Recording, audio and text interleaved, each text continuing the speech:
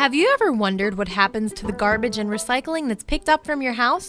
Yeah, where does it end up? Well, first you need to know who is in charge of picking it up. Here in Miami Dade County, it's the Public Works and Waste Management Department.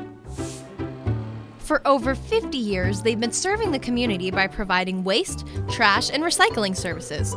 Today, they are the largest government owned and operated waste collection and disposal system in the southeastern United States. Although the department handles everything from bulky waste pickups to drop off sites for home chemicals, their two main services are waste collection and recycling. Let's check out waste collection. With a fleet of over 400 trucks, waste collection takes place five days a week for over 320,000 homes. That's a lot of waste, which is why the drivers stop at one of three waste transfer stations so they can unload their trucks and get back to collecting waste. All the waste from the transfer station then goes to one of two landfills owned and run by Miami Dade County, or to the coolest waste to energy facility in the world. It's called the Resources Recovery Facility, which deals with more than 1.2 million tons of waste every year. It doesn't just get rid of waste, it reduces it. Here, aluminum and other metals are recovered for recycling, and the rest of the garbage is shredded to create fuel that's used to make electricity. The electricity made at the facility is actually enough to run both the plant and power about 50,000 homes. Now that's cool. And as if this weren't environmentally friendly enough, the Resources Recovery Facility also has a 40 acre wildlife preserve that provides a hangout spot for many types of fish and birds. And since we're talking about being green, let's take a look at the department's other main service recycling. Are you talking about all those blue carts? That's right. Those 65 gallon wheeled carts are part of the curbside recycling program. And in those carts, you can place all of your recyclable materials paper, cardboard, plastic, glass, metal, and aseptic containers. That's the name for milk and juice cartons. Yep.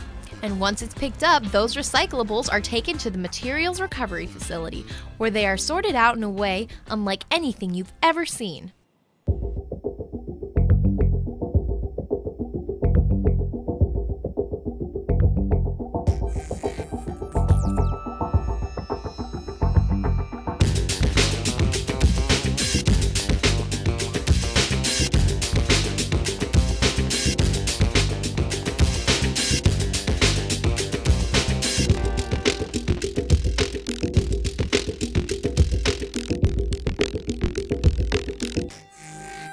Materials Recovery Facility handles 60,000 tons of Miami Dade County's recyclables each year.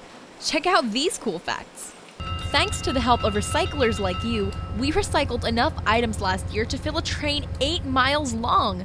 That's more than 850 cars, and fill 3,000 Boeing 737s. Recycling is great for our Earth because it saves items from being disposed of and actually gives them a second chance. Plastic bottles can become t shirts, glass can be used as a material for new glass bottles, and a soda can transforms into a brand new one in just a few weeks. Now that's what I call green.